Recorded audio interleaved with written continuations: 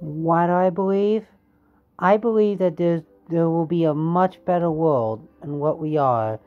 With this virus happening now, this will hopefully get people to get through it. And we will help those.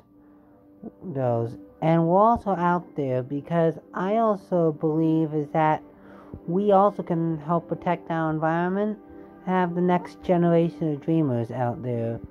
We are here because we want to make sure that we can come together as one. And we're there because we always like it.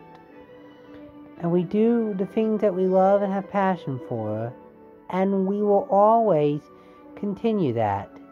And we will make sure that everything that we do goes wherever so make whatever dream that you have now, and like they always say, for college kids, enjoy what you have now through college because once you finish college, you're out in the world working before you know it.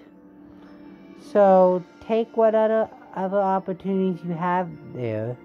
Believe that there is something and a lot of people often wonder what would happen, but this will hopefully tell if you just stop wondering and you begin to believe.